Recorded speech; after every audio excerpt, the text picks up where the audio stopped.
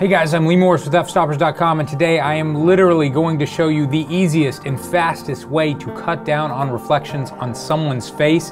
Yes, this is sponsored by Luminar, but no, this is not clickbait. You literally move one slider and it automatically does it. Check this out.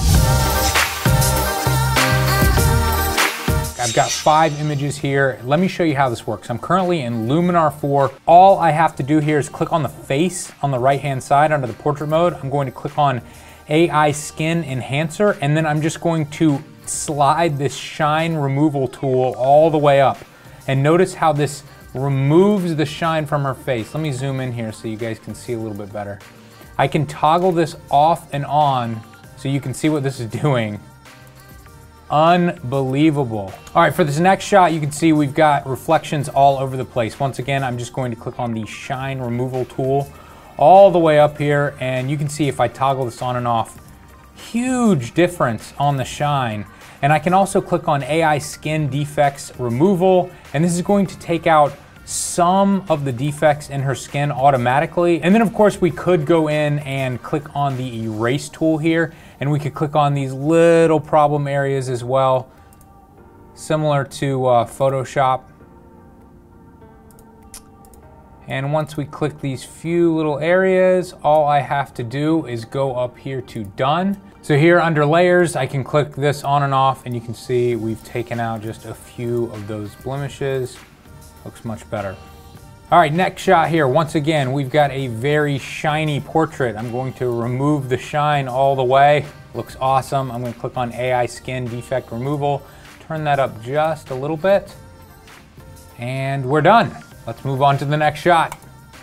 Again, we've got a lot of shine here. I'm just going to push all that shine out. Again, you can toggle that on and off.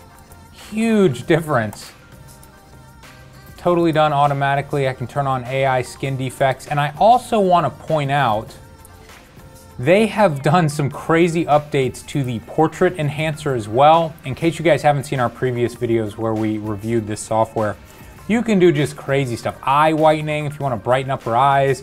We could improve eyebrows by making them much darker. You can see that. We can change uh, lip saturation. We could also give her lipstick. Really, really wild what you can do with all that. The other thing that they've updated is the feature that can slim your subject's face automatically. So you can see as I move this slider, it's going to shrink her face, but it's not just grabbing the sides of the picture and pushing them in, it's finding her face and trying to decide where to push that in. Obviously you can go too far with this, and you can see here it's actually grabbing the side of our frame, so we'd have to crop in just a little bit. That's obviously too far, but if you just wanna do it a little bit, I think it looks really nice. Now you might be saying, Lee, this is great, it's easy, but I already know how to do this in Photoshop. It's not a big deal to do it on a face when I need to do it.